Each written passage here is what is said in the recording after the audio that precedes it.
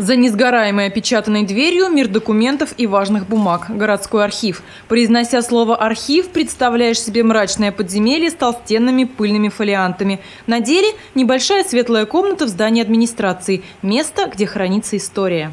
Без документов не существует ни одного государства. Без архива нет ни одного государства.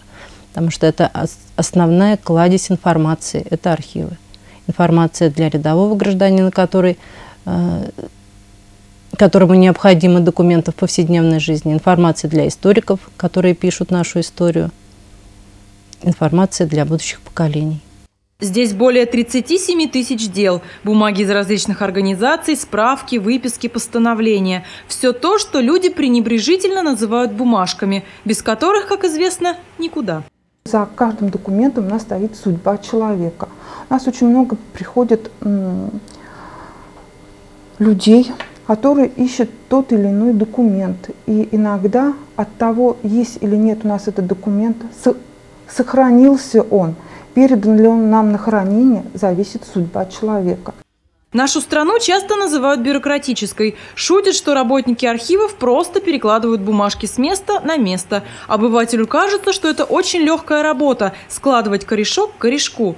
На самом деле тут серьезный аналитический труд, требующий скрупулезности, ответственности и методичности. Ко всему прочему, работу эту легкой физически не назовешь. Даже из-за одной справки приходится повозиться. Ну, килограмма три, одна коробочка весит. Вот, приходится поднимать вот этих коробочек вчера я подняла, штучек, наверное, 10 за полдня. Так это все, каждое дело надо было прокрутить, пролистать, найти. И потом только уже по инициалам, по дате поступления, по дате увольнения указать, что это была именно та женщина, которая нам написала запрос. В городском архиве два вида бумаг – документы личного и постоянного хранения. Первые – это данные из организации, нужные людям для определения стажа, начисления пенсий, приватизации жилья. Вторые – исторические свидетельства, картографические материалы, письма и справки времен Отечественной войны. Архив – неиссякаемый источник для историков.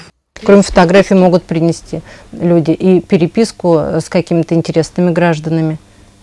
Например, одна гражданка принесла переписку с одним из кандидатов в начале 90-х годов на должность президента. Все пренебрежительные слова и наименования о бумагах и профессии ивановцы сразу забывают, когда приходят сюда за нужным документом. Здесь всегда помогут, необходимое найдут, как и полагается в архиве, без шума и пыли. Мария Авдеева, Олег Мелехин, РТВ Иваново.